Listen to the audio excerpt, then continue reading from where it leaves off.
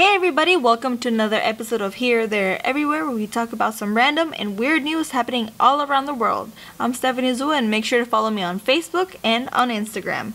Okay, so today we're going to be talking about how a boy, age 15, leapt to his death as his mother cheers him on when homemade parachute fails to open as he jumps from the roof of a 14 story building. All for social media, guys. All for social media. Y'all on social media right now, so what y'all doing? You're not trying to do something? Alright, so apparently a 15 year old boy plunged to his death after his homemade parachute failed to open properly in a leap from a tower block in Ukraine. Uh, horrifyingly, footage shows um, off, I think that's his last name. Sorry if I'm mispronouncing that. Um, falling from the 14th floor of of the eastern Ukrainian city of Makivka. Yeah.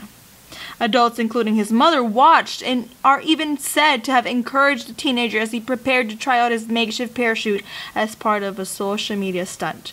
The clip shows him with his arms outstretched on the top of the building as he falls. A parachute is visible, but it is not unfurled properly during the 140 foot drop. Guys, have you ever um, invented something doesn't really turn out the way it is? Leave leave a comment below if you ever invented anything but if you ever invented anything dangerous but this is like hardcore. This kid wanted to make a parachute. His mother was watching. Everybody was watching. Alright guys. Hey stay tuned for another episode of here there everywhere. I'm stephanie Zua once again. Make sure to follow me on facebook and instagram. See ya later